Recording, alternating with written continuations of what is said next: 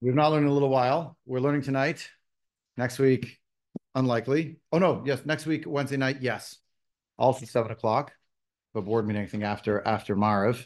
And we're gonna stay on Wednesday nights for a little while, and probably after the Yom Tovim, we'll switch back to Monday nights. That's supposed to be our night, but because of different things that have happened over the course of this year, we got thrown off this way and that. So uh, a brief review. Of course, we're talking about the various Rosh Hashanah. The last one that we talked about, which began really on Daf Tet Amud Bet, was the element of planting and when things take root such that we can consider the arrival of Tishrei, Aleph Tishrei, to be the uh, onset of a new year. The question was, how much time do you need? And the implications here were manifold. Firstly, in terms of if it's a year of Shemitah or not, is this Natia or Havracha or Harkava? Those are three different things. Remember, Havracha is taking the branch, putting it into the ground, covering it with earth until it sprouts new roots, and then you're cutting off the original branch because it's no longer needed to feed the new sapling, which now arrived. It's not a sapling, it's really the branch that grew, grew a new stalk. Natia is just putting a sapling in the ground. Har, harkava is uh, is grafting. That's where you take a branch and you tie it to another branch or put two of them together and you peel away the bark, presumably. So the two of them end up, one grows out of the other one in the end, and it's sustained by that. If it's inside of 30 days before Shemitah, you can't use the whatever the fruits are. You have to uproot the, the, the planting in any of these three ways because it did not have enough time. And we're in the zone what's called Tosefet Shvit. That's not allowed. Remember? Fruit's going to grow that quickly? Uh, no, the point is if you plant it within 30 days of Shemitah, even when it, whenever it will grow, you can't use it. Oh. And in fact, the plant would have to be uprooted immediately on Shemitah. It will be an favor to keep it. There was an implication in terms of Orla. And uh, the implication for Orla is whether you could assume that one year elapsed in the span of that period of time prior to Rosh Hashanah, 30 days before. If it was 30 days, we say it was as if it was a year, so you're already in the second year. You remember that in that conversation, we saw, we saw Shitat Rashi essentially, that that's where Tu Bishvat came in. Mm-hmm. That even though you did this thing with the extra month, where one month was accounted like a year, we still make you wait when you get into year, what would be year four, we wait until Tu Bishvat of that year. Uh, and so it is for the, the year after that to get from the fourth year to the fifth year. Tu Bishvat becomes the new the new line. If you actually planted uh, uh, um, not within 30 days, not a Shemitah year, regular year, and then the therefore when your Rosh Hashanah came, it wasn't a new year. You have one, two, three full years. So then Rosh Hashanah can stay that day. And then there's a discussion whether it also has to be pushed to the following Tu Bishvat. This is all review. We did this already. In that context, we had a conversation on Daf Yud Amud Aleph, which was the question of um, how many days into a year might be counted as a full year. And the the analog was in the world of um, in the world of korbanot. Um, we had an idea that um, Rabbi Meir held, unlike the Tanakama, that was on the bottom of 9b, that you need 30 days. Rabbi Meir sounds like he's saying you need one day. And he thinks one day before Rosh Hashanah would be like the whole year. Now, maybe Rabbi Meir would say, well, if it's a year going into Shemitah, no, there you need 30 days because it's Tosefet Shvit. But Rabbi Meir seems to hold one day out of a year. So, in other words, if on the 29th day of uh, Tishrei, the sun is setting on the 28th. So as the sun is setting, you start, you plant the last day of the year. Uh, of Elul, sorry. So yeah, yeah, sorry, 28, sorry, 28 Elul. So right as the sun is setting, so you get a full day of 29 El, uh, Elul, and then it comes Rosh Hashanah. Rabbi Meir thinks you have uh, you have a, you're in year two. Um, so that's on Daf Yud Amid Aleph, and that's actually the last thing that we had seen inside. We said uh, Alema Delok Rabbi Meir. That's how we got there. One, two, three, four, five, six, seven lines down from the top on 10a. And we need this for the flow of the Gemara to understand the new material tonight. It's good to review anyway, and it's been a little while. So Lehman look Rabbi Meir. The Rabbi Meir, Ha'amar Yom Shana. He thinks one day is considered an entire year has elapsed. Ditanya, since we learned in a Braita. Par ha'amur b'Torah stam ben esrim v'arba'a chodesh v'yom echad. Divrei Rabbi Meir. When the Torah describes that you need for a, a korban to bring a par, what is defined as a par? Says Rabbi Meir, an animal that is three years old. But what is three years old? 24 months plus one day, because you're into the third year. And if you think that's strange, how many people here wait into the sixth hour after Fleischiks? I do. So into the what is into the sixth hour? See, yeah, yeah, yeah, you're into the sixth hour. It's almost the sixth hour. That's what he holds. He holds it's mamash one day. Rabbi Eliezer Omer He thinks no, you need at least a month. Notice that nobody holds that for a par. You literally need an animal that has had uh, a 36 month lifespan, 24 months plus something. A smaller unit. Is that unit a day? Uh, is that unit a month?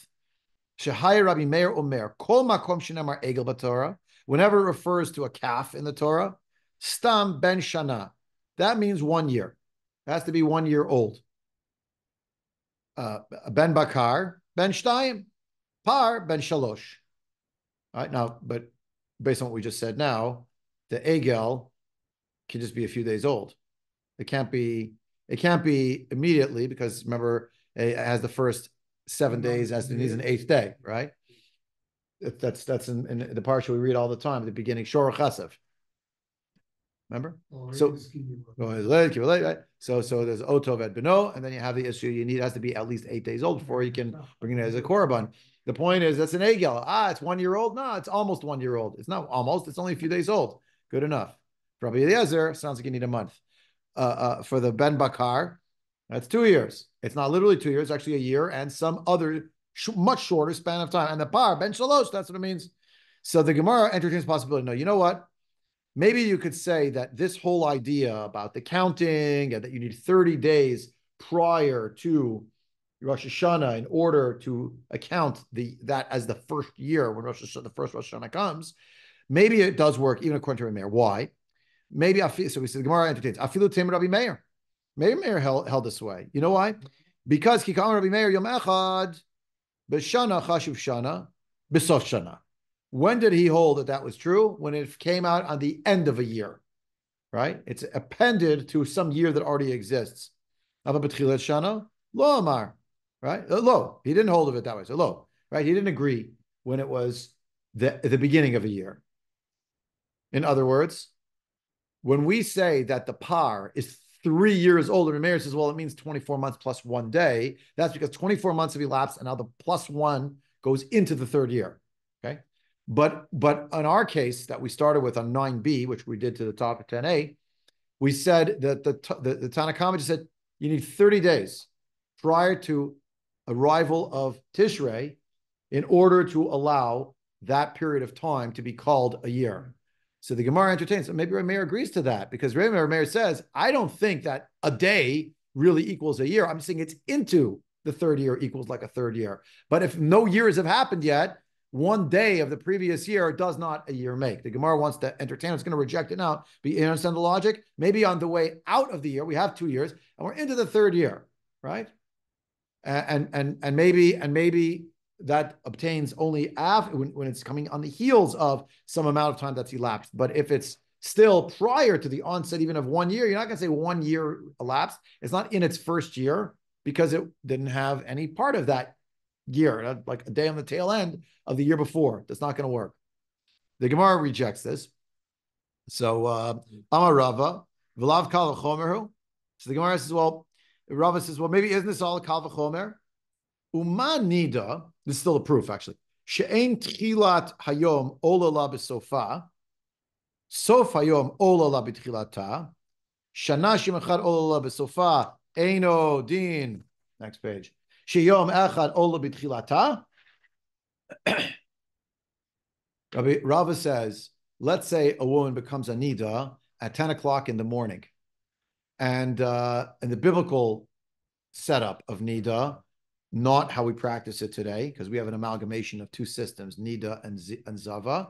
But let's say in the original system, nida was always exactly seven days. A woman uh, became a nida, count seven days no matter what's going on. She's bleeding, she's not, it doesn't matter. Once you hit seven days, she go to the mikvah. Okay, so that that's what Rav was talking about. Again, not what we do today, because today we have the calendar of the of the Nida and the Zava are actually amalgamated essentially. Not for I don't want to go more into it. It's gonna take us off topic, but just to say, if the woman becomes a Nida at 10 in the morning on a on a Thursday, so you count up seven days. When you get to the next Wednesday, she can't say, Well, I got to 10 o'clock in the morning. So see, seven days have elapsed. Rather, what happens? She has to wait until sunset on the seventh day because she doesn't go to the mikveh during the day. So she waits till the nighttime, Wednesday night, which is luckily Thursday. However, let's say the same woman, sunset is six o'clock, and she became Anida at 545. So halachically, Rabba points out, isn't that considered like an entire day? Yes, it is. That's considered day one. So it's on Wednesday. She became Anida at 545. Sunset was six o'clock. So already Wednesday night and Thursday is day two, three, four, five, six, and then Takim. She goes to the mikvah a night earlier. Understand? Is that what's going on? So Rava, sa- Rava says, wait, there is an analog to this that maybe you see there is another kind of a case where on the way into account, just a fragment of a day. So Rav is saying, or maybe Rabbi Meir holds, even a fragment of a year, maybe one day in a year going into the Rosh Hashanah, maybe that is counted like an entire year. The same way that a, a Nida who becomes a Nida 15 minutes before Shkia, that day is considered the first day of her Nidas. Question? Yeah. Using your example. It's Rava's example. I made it Woman two times. Starts a at ten in the morning, She becomes a Nida. yep. five foot, or that's case one, case two, five, five forty-five, Let's say, yeah. And six o'clock is. Shkia. Shkia. She still is gonna go to the mikveh. On. Then, then you. Yeah, yeah, yeah. Wednesday. The following week. The, the yeah the, the She's still gonna go. sorry okay I, I I I didn't give a good example. Let me fix it. Sorry. If she became Anita at ten in the morning on Wednesday, then the next week you're going to count up seven days. It's Tuesday when you get to day seven, right? Wednesday, Thursday, Friday, Shabbos, Sunday, Monday, Tuesday. So 10 a.m. on Tuesday, that's seven days have elapsed from 10 a.m. to 10 a.m. But she doesn't go to the mikvah till Tuesday night. But let's say, let's say, in the other case, she became a nida at, uh, but but really by by the number of days, it already was seven days, wasn't it? Seven days went by, 10 a.m. 10 a.m. But but if it was the day before, I should have said it that way. So Wednesday should have been Tuesday, 5:45, and sunset is six o'clock. Tuesday's day one. So then Wednesday's two, three, four, five, six, seven. She goes a night earlier. But, but I- what is troubling to me. I don't see the difference between ten in the morning and five forty-five because she cannot go to the mikveh until a week later at night. Right, that's what he was just. That's that, that's correct, and I'm not suggesting otherwise. I'm not suggesting otherwise.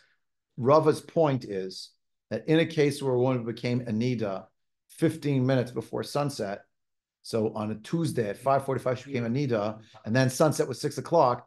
Day one of the Nidud is is Tuesday, Wednesday, Thursday, Friday, Shabbos, Sunday, Monday night she can go to the mikveh.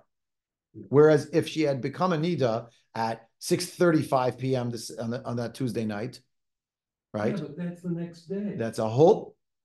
Rava's point is just to say, don't you see that there could that we have within halacha the idea that going into the transitional point from one day to another, even though you have a tiny fragment before that transitional moment, you're willing to accord that as if it was an entire day. So too, so too, maybe Rabbi Meir, when he says one day is like an entire year, maybe he did mean it in the world of of um of of, of planting. Maybe one day before Rosh Hashanah, if you planted something, maybe he didn't that because the Gemara first said, no, we'll say it doesn't follow Rabbi Meir, right? Because Rabbi Meir holds one day, and we see here that the Tanakhama said 30 days.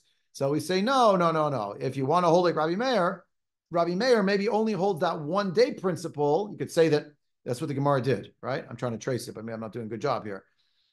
30 days are required for something to be considered a whole year as having elapsed. All of Elul, the thing has to be planted, all of Elul. But then the Gemara says, but that doesn't accord with Rabbi Meir. That must be Rabbi Eliezer's position because Rabbi Meir holds that one day would have been enough, not 30 days. The Gemara says, no, maybe this also, which doesn't have a name on it, there's no challenger in it. Maybe Rabbi Meir also agrees to this. He also says you need 30 days prior to the arrival of Rosh Hashanah. Do you know why?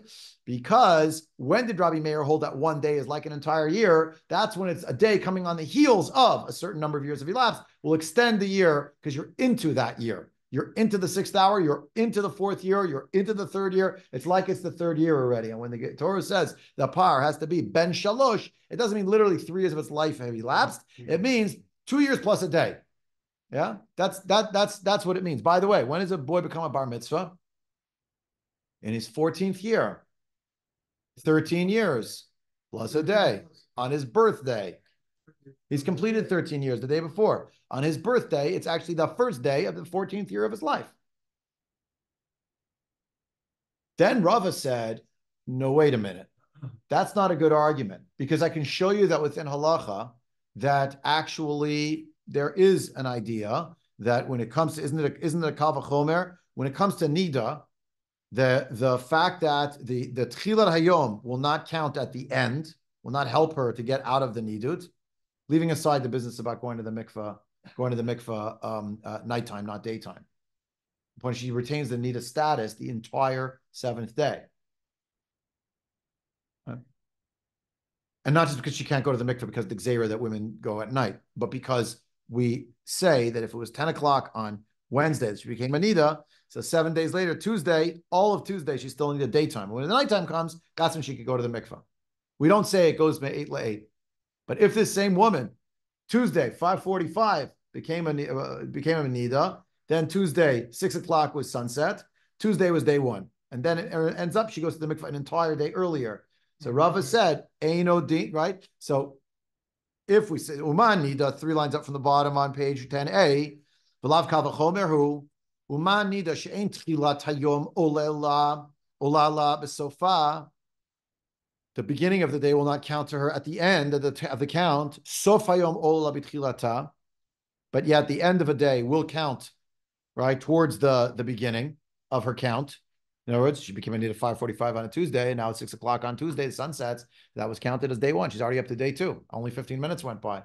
But all right, so so then we say, so then we say, Shana, Shiyom Echad Ola Sofa, if an a, a, day would be accounted at the end with regard to the to the par, you're in the 30th, uh, you're in the first day of the of the third year, Se'ena Din, Shiyom Echad Ola B'tchilata, for sure Rabbi Meir holds, according to Rava, that that that one day that that one day before Rosh Hashanah, if you planted this thing, it would be like the whole year had elapsed. For sure, he holds that.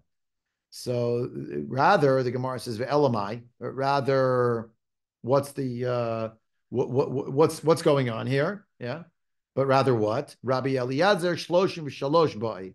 Really, what's going on here is that Rabbi Eliezer requires thirty uh, uh, uh, sorry, shloshim ushloshim by. Sorry, he needs thirty and thirty. Ditzanan, because we learned ein notin vein mavrichin vein markivin erev shvi pachot mishloshim yom lifnei Rosh Hashanah v'im nata v'hivrich v'hirkiv yaakor. Right, this is actually supposed to be over here. It doesn't say Diva Rabbi Eliezer, right? Uh, and then it says Rabbi Yehuda Omer Kol Arkava She'ena Koletet Begimel Yamim Shuv Ena Koletet Rabbi Yosef Shimon Omrim Shtei Shabbatot Rav Nachman Amar Rabba Bar Avuha Divra Omer. Oh, sorry, let me stop. Let me stop right there. When Rabbi Eliezer and Rabbi Meir square off about do you need thirty days or one day, neither of them is talking about the question uh, per se about the last thirty days before the arrival of Shemitah everybody agrees there has to be at least 30 days before Shemitah that nothing gets planted.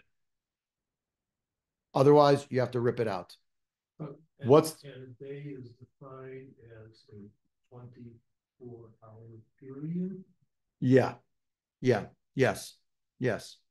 I don't think we say Mixidim Kikulo here. I don't think we say that. So Rabbi Eliezer holds you need 30 plus 30. Rabbi Eliezer says you have you need when Rabbi Eliezer says in order to make it. In other words, now we're learning something new. In the year leading up to Shemitah, you have to plant whatever you're planting 60 days prior to, to, to Rosh Hashanah. How come?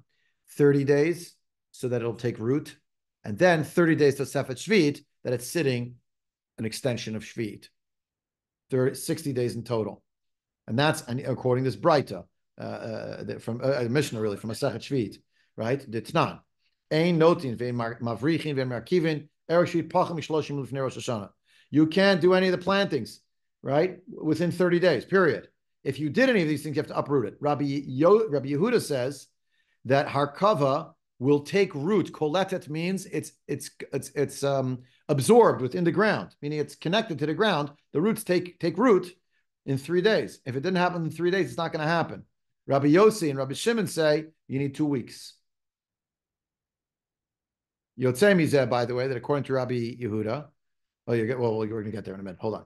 So the Gemara says, "Amar Rav Nachman, Amar Rav Bar Avuha, Divrei Omer Shloshim, Tzarech Shloshim, Ushloshim." You need thirty plus thirty.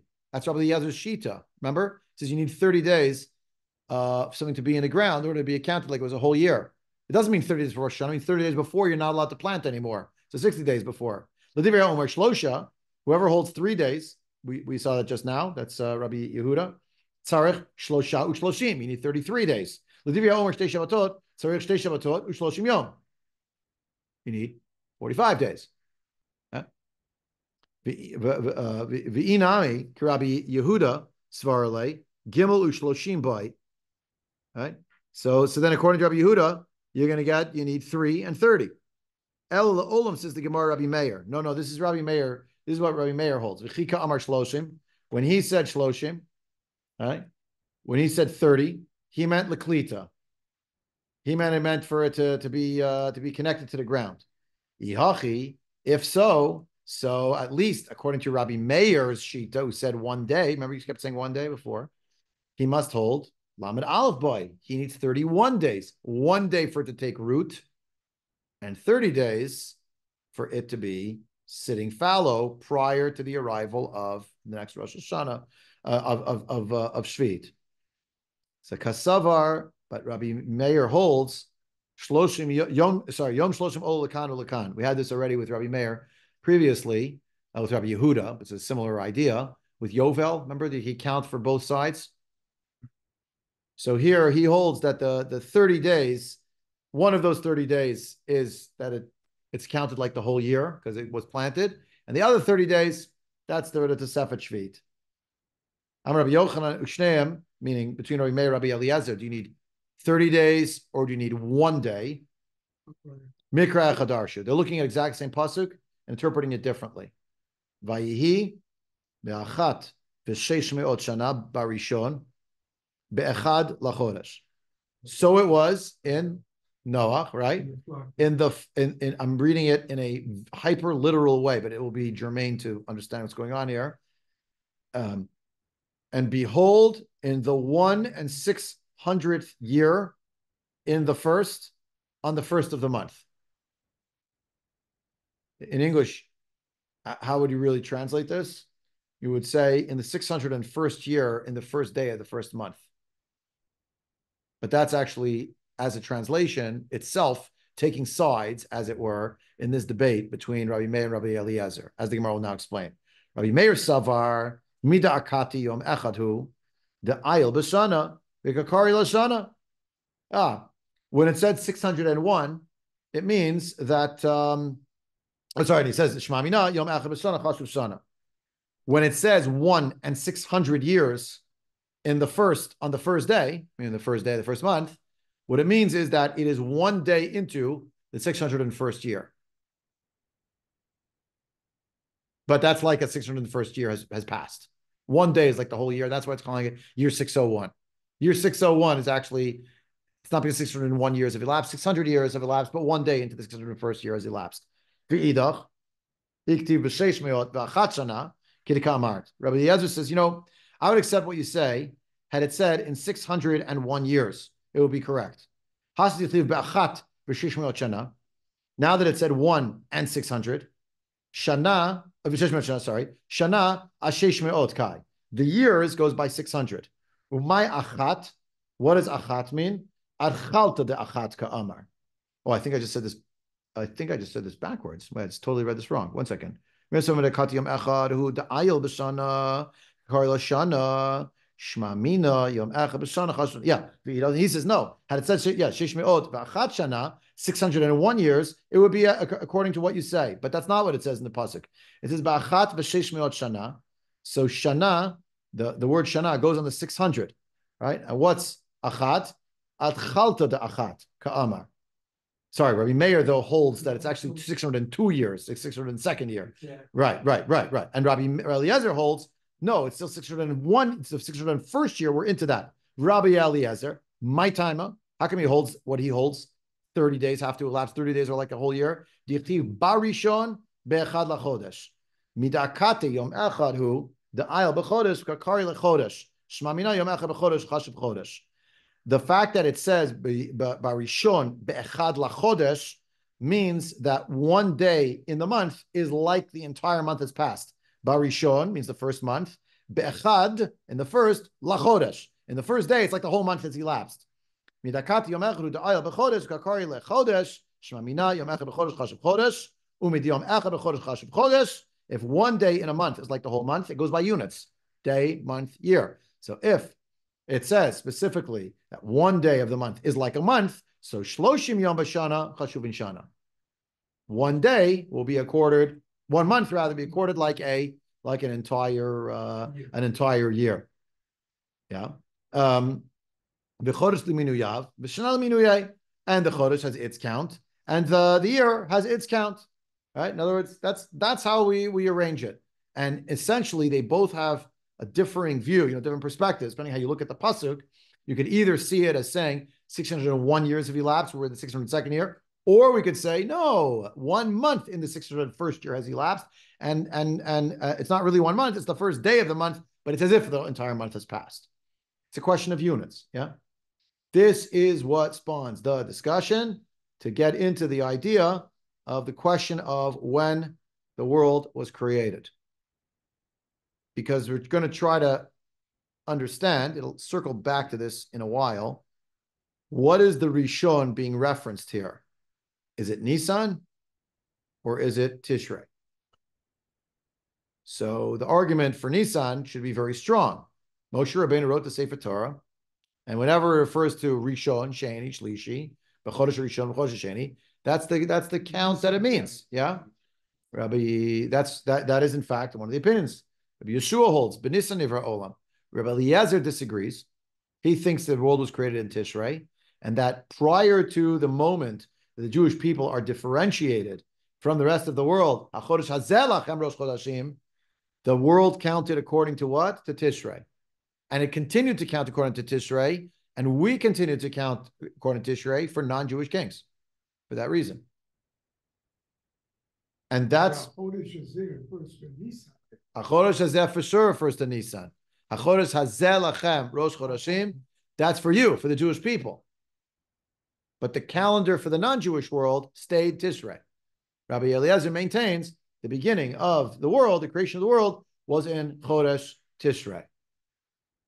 And that's the, actually, believe it or not, that's the segue into the next Gemara that we'll see. We'll, we'll, we'll learn it, uh, you know, a first a first uh, round of it uh, tonight, just to cover a little ground. Excuse me, I didn't go too far. I didn't go into Tosfot or any of the Rishon really. I just wanted to cover the ground to get to this point because we're sort of starting a new unit now. Hopefully, we'll be able to, to make it go. But again, we'll, we'll learn next week, God willing, same time uh, as well. And that is, um, well, let's first, I guess, learn the Gemara. There are many questions that arise about this Gemara. There's a bracket here that says, Michlal de Tarvayu Sviralhu Benisa Nivra Olam. See that? Yeah. Yeah. It must be that both Rabbi uh, Rabbi Eliezer and Rabbi Meir hold the world was created in Nisan.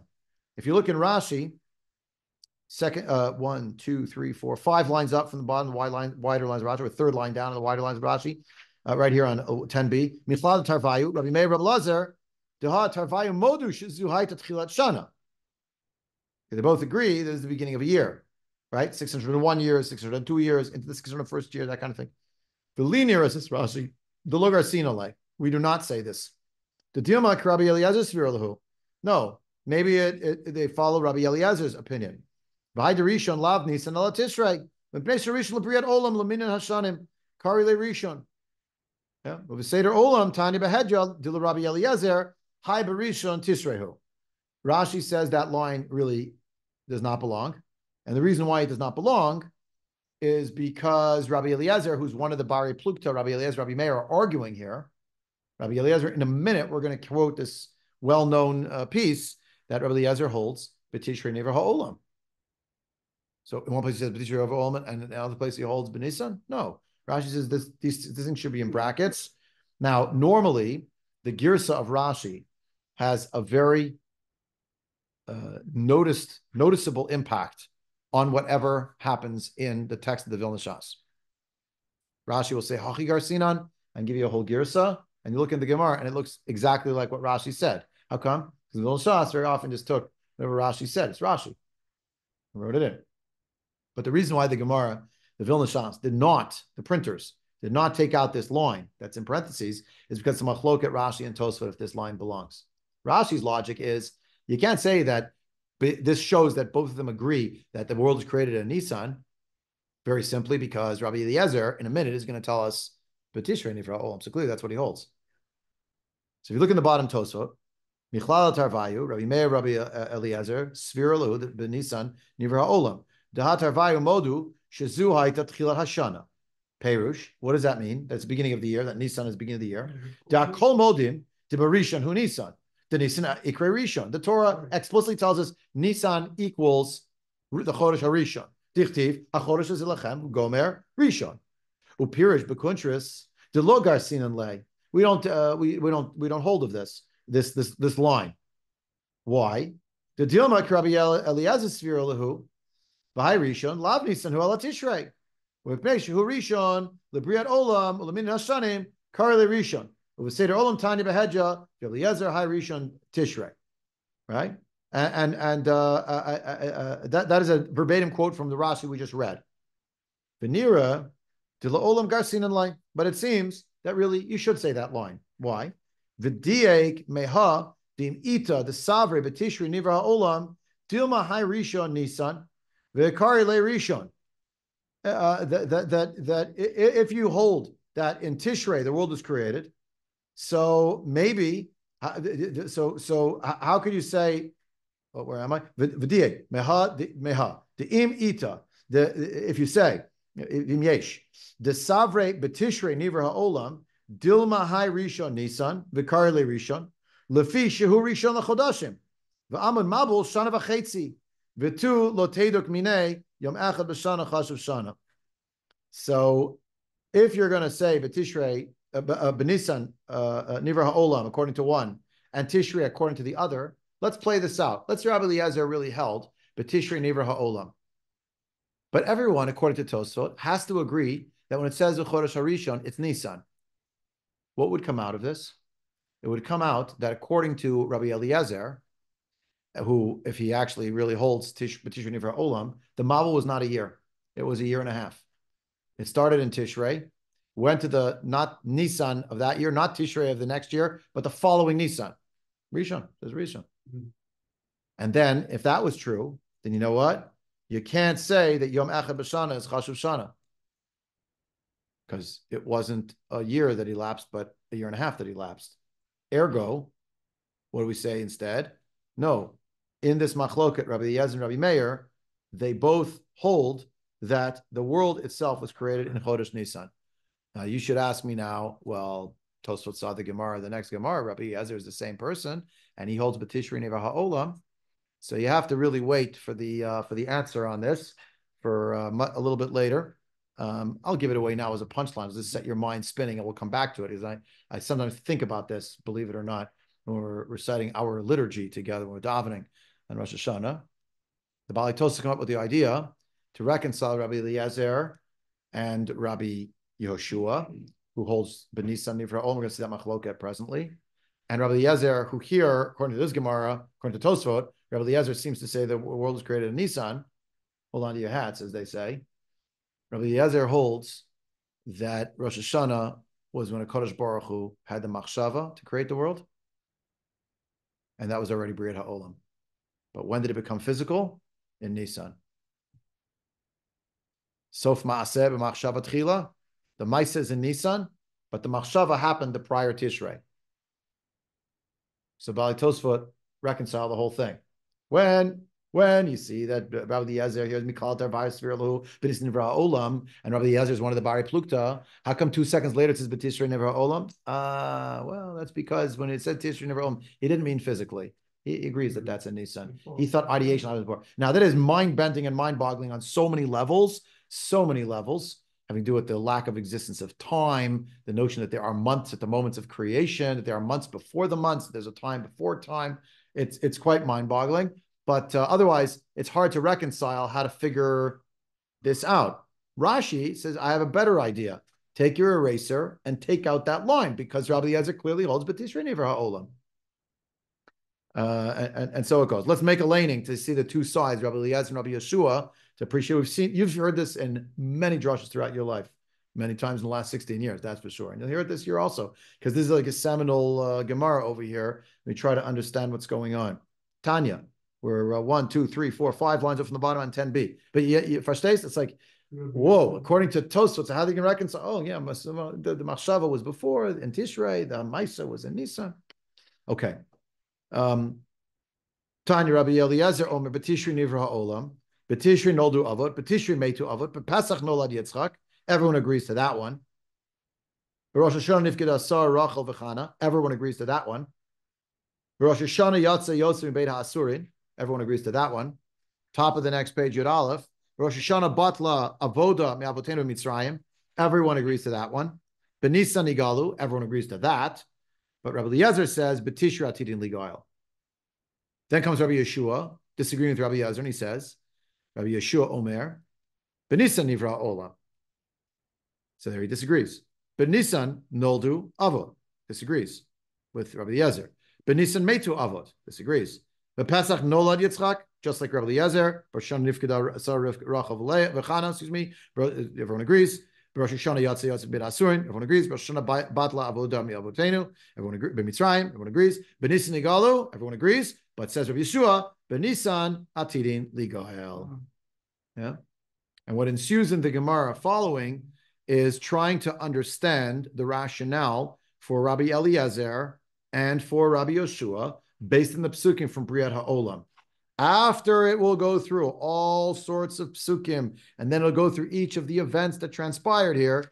Finally, finally, finally, it'll come swing back around on page. Uh, we won't get there anytime soon. Uh, we'll we'll swing all the way back on page 11b. You just see the line so you understand where the the off ramp was to talk about this issue and we're getting back on the highway on 11b, about halfway down the page. Uh, halfway down the page, the first words are Min Hamazikin. Basil Tamayo, the Tanya, Bishnat Sheish Meot Shana L'chai Noach, Bishana B'chodesh Hasheni, B'shiva Asa Yom L'chodesh. And it's going to start talking about Noach again.